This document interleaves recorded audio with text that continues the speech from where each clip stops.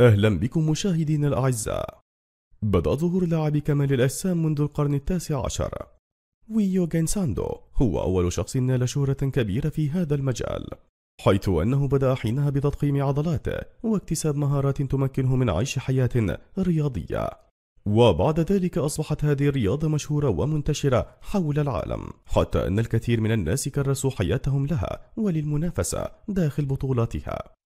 وبالرغم من ذلك لم يتمكنوا من تحقيق أي نجاحات وتقدم في هذه الرياضة حتى سبعينات القرن الماضي. عندما جاء هذا الرجل من النمسا وتمكن من تحقيق نجاح باهر فيها لكنه كان يقوم بكل شيء بأسلوب مختلف وقد نال شهرة كبيرة أيضا من خلال مشاركته في العديد من الأفلام. كان يعتبر المثال الأعلى للعديد من الأشخاص الذين كانوا يهتمون بتلك الرياضة. وبالرغم من كل هذا التقدم والنجاح الذي حققه في رياضة كمال الأجسام إلا أنه اعترف أنه كان يتناول المنشطات.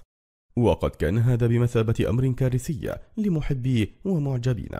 فكيف يكون المثل الأعلى لهذه الرياضة؟ هو من يتناول هذه المنشطات. لا يمتلك عضلات طبيعية نتيجة للمجهود الذي بذله. ولذلك سوف نشاهد معا في هذا الفيديو بعضا من هؤلاء الرياضيين الذين تمكنوا من نيل شهرة في مجال كمال الأجسام بالغش والتزييف. هل أنت مستعد للتعرف عليهم؟ هيا بنا نبدأ. ولكن قبل أن نبدأ الفيديو فضلا وليس أمرا ادعمونا ب like للفيديو واشتراك بالقناة وتفعيل جرس الإشعارات فهذا يساعدنا كثيرا وشكرا لكم. يدعى هذا الشاب مصطفى إسماعيل وهو واحد من أشهر لاعبي كمال الأجسام المصريين. تمكن من تحقيق رقما قياسيا جديدا في موسوعة جينيس حيث حاز على لقب صاحب أضخم عضلة ذراع حول العالم. حيث يصل ارتفاع هذه العضلة إلى 31 بوصة ولكن الكثير من الناس لا يصدقون أن هذه العضلة طبيعية. فهي تبدو غريبة الشكل مما جعل الكثيرون يتساءلون هل هي طبيعية أم مزيفة؟ ولهذا تم إجراء تحاليل لمصطفى إسماعيل تخص هذه العضلة في التلفاز الياباني بشكل مباشر وقد ثبت أن هذه العضلات غير طبيعية بنسبة 100% وبالتالي تم سحب اسمه من موسوعة جينيس للأرقام القياسية نتيجة لغشه الواضح. فقد كان يستخدم العديد من المنشطات والحقن حتى يتمكن من الحصول على تلك العضلات الضخمة.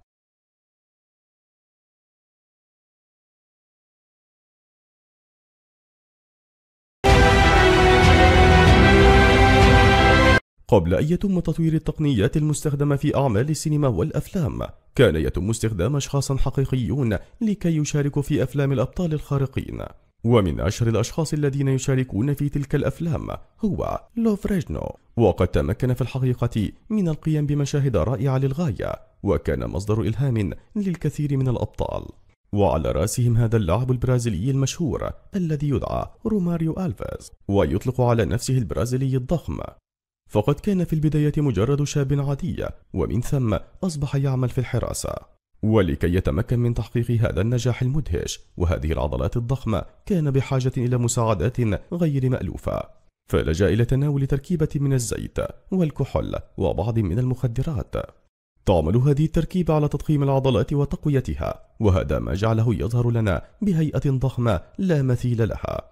ومن الناحية العلمية والطبية تعد هذه التركيبة خطيرة جدا على صحة الإنسان إذا قام بحقن نفسه بها حيث أنها تؤثر على الخلايا العصبية ونشاط الدم في الجسم مما يضر بالصحة. وبعد مرور عدة سنوات عانى كثيرا من تلك الآثار حتى أنه اضطر إلى بتر هذه العضلات القوية. وقد كان من الممكن أن يبتر ذراعه بالكامل إذا استمر في حقن هذه التركيبة بجسمه. أجرى الأطباء عملية بتر العضلات وعاد إلى صالة الألعاب الرياضية مرة أخرى للتدرب بشكل طبيعي. قام بنشر العديد من الفيديوهات على الحساب الشخصي له على إنستغرام. كان يطلي جسده باللون الأخضر حتى يشبه الرجل الأخضر العملاق.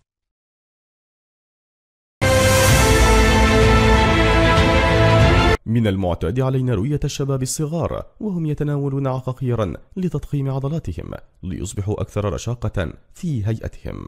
ولكن في بعض الأحيان يرغب الرجال الكبار في ذلك أيضا. يبلغ فالدير من العمر أكثر من خمسين عام وهو يستخدم أنواعا مختلفة من حقن تضخيم العضلات منذ بضع سنين. وعلى الرغم من معرفته الكاملة للأضرار والآثار السلبية لهذه العقاقير إلا أنه لم يكترث ويرغب بشدة في أن يكون شبيها من الأسطورة العظيمة أرنولد. ومن شخصية الرجل الأخضر الخيالية.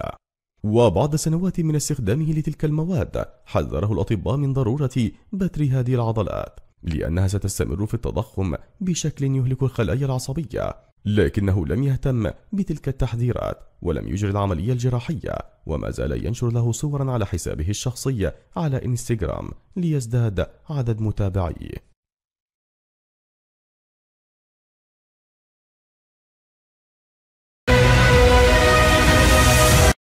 تعد رياضة كمال الأجسام مثل أي رياضة أخرى يتعدد فيها النجوم اللامعين ولكن غريغ فالانتينو هو المنافي لهؤلاء النجوم تماما.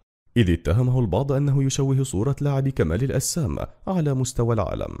ذلك لأنه يحاول أن يشهر نفسه قدر المستطاع. وبالرغم من أن كل عضلاته مزيفة بشكل كامل فهو يتناول عقاقير وحقن تحتوي على مواد خطيرة جدا ليحصل على هذا الكم الكبير من العضلات الضخمة. وقد كان غريغ في البداية محبا للرياضة وحمل الأثقال بشكل طبيعي تماما حتى تم 16 عاما من عمره. ومن بعد ذلك فقد صبر وقرر أن يتناول كل العقاقير التي تمكنه من الوصول إلى هذا المستوى. وقد حذره الأطباء كثيرا من الاستمرار في تناول هذه المواد الضارة لأنها ستدمر صحته وخلاياه العصبية. لكنه لم يكترث وما زال حتى الآن يتناولها بشكل مستمر. إنه لأمر مدهش للغاية أن ترى أن الكثير من الأشخاص يخدعوننا في مثل هذه الأشياء.